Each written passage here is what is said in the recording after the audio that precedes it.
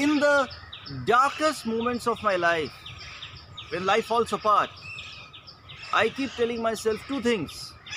First, pure life is the best life.